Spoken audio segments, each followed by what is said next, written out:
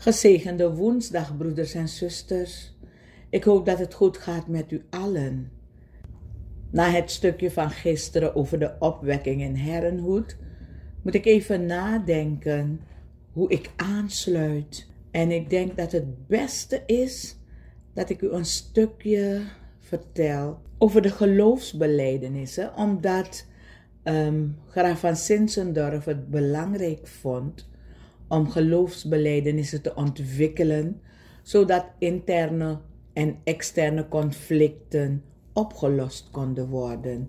Om meer te reageren op de wereld waarin ze leefden daar in Herrenhoed en om te reageren op de reformatie van de 16e eeuw die zich ontwikkelde. En dergelijke belangrijke verklaringen als de Lutherse Oosbergse geloofsbeleidenis, vooral belangrijk in het denken van de Moravische kerk, waren er drie categorieën. In essential unity, in non-essentials liberty en in all things love. Laat me het hebben over de essentiële, de essentials.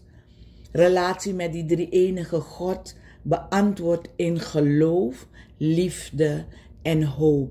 Soms is het woord essentieel in het meervoud vanwege het drie-enige karakter van God en het drie-enige karakter van de menselijke reactie. Het enkelvoud zullen we gebruiken omdat het drie-enige karakter van God, Vader, Zoon en Geest en het drie-enige karakter van de menselijke reactie, geloof, hoop en liefde, allemaal zijn vervat in één unieke God-mensrelatie.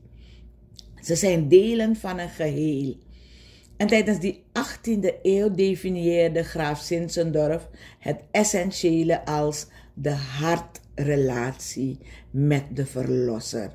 En door in relatie te zijn met de Verlosser, ervoer men God geheel en werd het spirituele hart begrepen als ons vermogen om God te kennen, waar te nemen en te beantwoorden.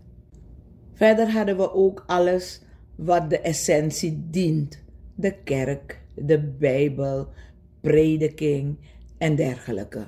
En dan heb je de incidentele, de verschillende manieren waarop dingen werden gedaan.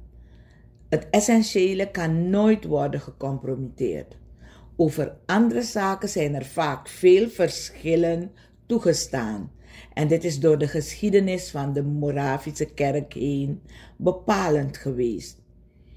Zo is het belangrijk om te weten dat de oude Moravische kerk verschillende geloofsbelijdenissen geproduceerd heeft.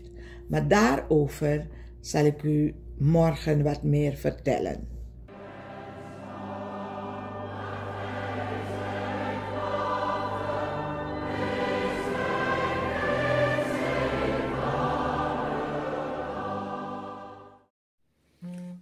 Dagteksten voor woensdag 14 augustus 2024. Deuteronomium 2, vers 7. De Heere uw God heeft u toch door de grote woestijn gekend. Hij was met u. De Heere uw God heeft u toch door de grote woestijn gekend. Hij was met u. Deuteronomium 2, vers 7. Het leerwoord is gehaald uit Hebreeën 12, vers 12. Hef dan de slappe handen op en strekt de knikkende knieën. Hef dan de slappe handen op en strekt de knikkende knieën. Hebreeën 12, vers 12.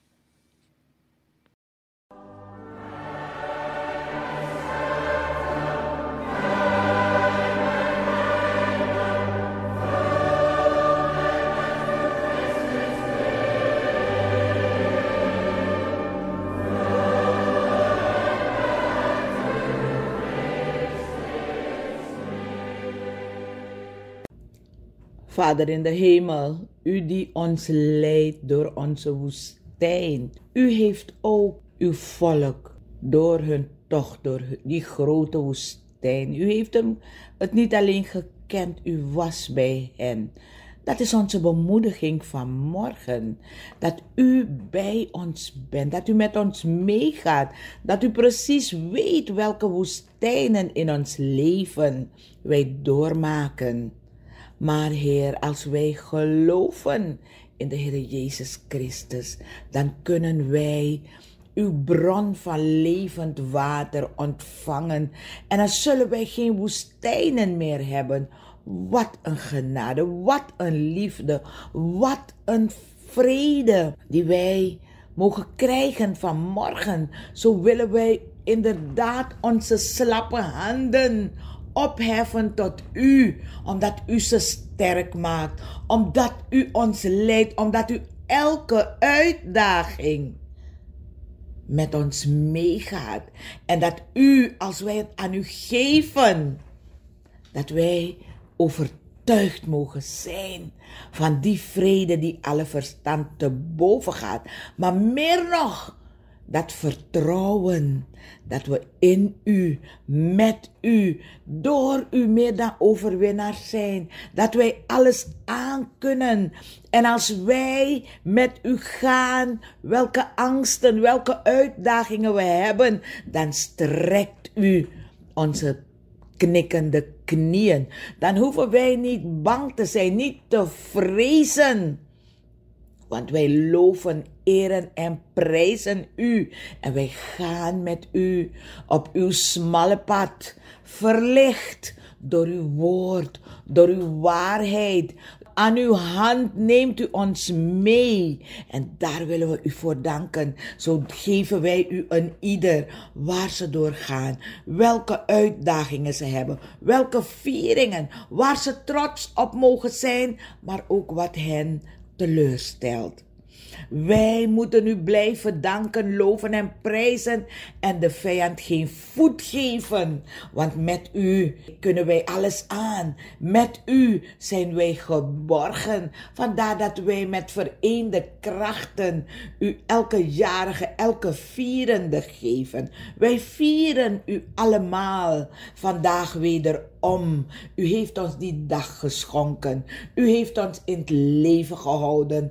Wat kan er nog misgaan met u aan onze zijde? Vader, we loven, we prijzen, we eren u om wie u bent en wat u belooft te doen in ons leven. In de naam van Koning Jezus. Amen, ja, amen.